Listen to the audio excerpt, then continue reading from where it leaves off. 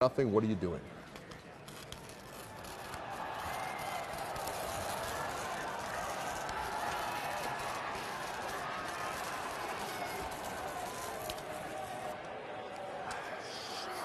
You didn't even read it.